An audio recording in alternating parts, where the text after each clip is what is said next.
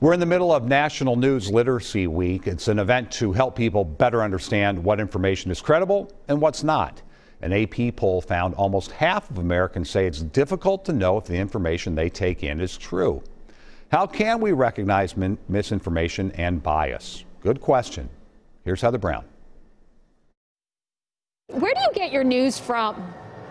Uh, mostly from the internet. Television, of course. At school. Washington Post and LA Times. At work. On the YouTube. How do you know who to trust?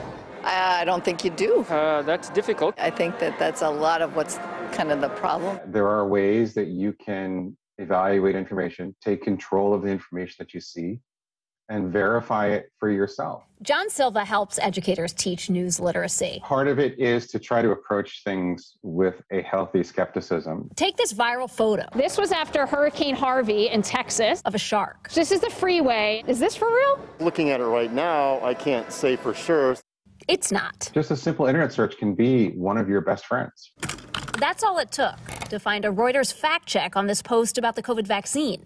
They found the article was missing context. How do you know to trust what you find on the Google search? It, it, depends on, on the sources that you find. You have to go to other sources. You have to look at the, the fact check organizations themselves. They show their work, they provide their own evidence, they tell you how they made the determination. They have to have a track record with you. That is correct. Is there a big difference between misinformation and bias? Uh, yes, there, there is a difference. Misinformation is information that is false or misleading, and bias has a lot more um, subtleties um, but its most important purpose is to influence us. He says organizations in the middle of this media bias chart tend to be more standards based. The who, the what, the where, and the when. But the chart doesn't easily separate opinion from editorial and ignores how bias can sometimes creep into news reporting. Are the news organizations that acknowledge and correct their mistakes, show their work? They name their sources and they provide all the relevant context and background so that we can we can be um,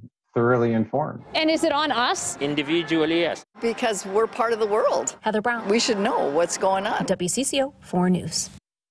Our expert told Heather that another valuable tool is a reverse image Google search, but that doesn't always work.